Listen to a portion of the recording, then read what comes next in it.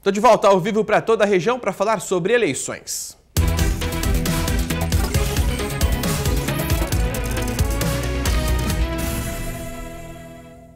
E quando o assunto é eleições, claro, tem especialista sobre o assunto aqui no nosso SBT Interior. Tudo bem, Jéssica Tábuas? Bom dia. Tudo bem, Casagrande? Bom dia para você, bom dia para você de casa. Estamos aqui no feriadão, trabalhando pesado para falar sobre o quê? Sobre voto branco e nulo. Muita gente não sabe, né, a diferença. Afinal, tem muita gente que fica na dúvida, né, Jéssica? Exatamente, viu, Casagrande? Olha só, tem muita gente que não sabe essa diferença, nem de que forma isso pode influenciar no resultado. Por isso, a gente preparou uma matéria exclusiva para poder te ajudar a entender melhor melhor.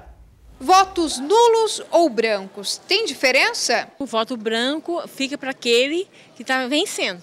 O nulo, ele não vale para ninguém. E o branco também você está deixando de votar, também não vale nada. Eu acho que não tem diferença nenhuma. Né?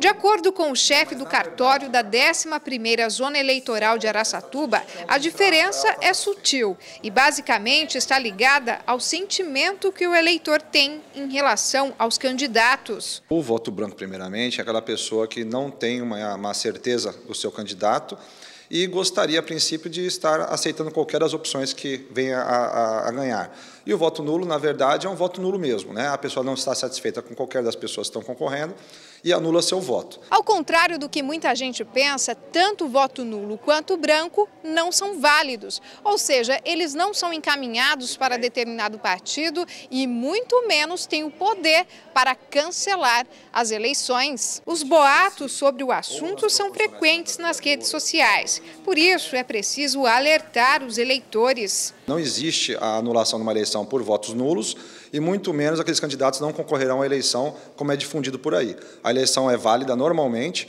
e aqueles candidatos que receberam tantos votos quanto forem necessários, eles vão ser eleitos. O que poderia anular um candidato, por exemplo?